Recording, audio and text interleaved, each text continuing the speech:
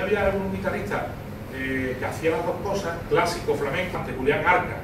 Que claro, uno escucha, por ejemplo, él, tocaba lo mismo, folía, cuñeira, eh, bolero, que soleada, granaína.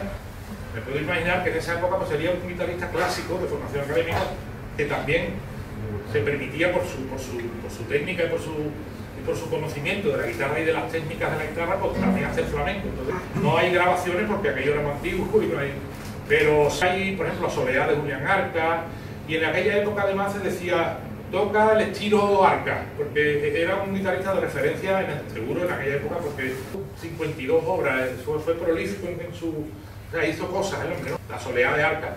Claro, tú la escuchas y dices, bueno, tiene, tiene lo que hoy conocemos por Soleá, no es, tiene una cosa ahí, bueno.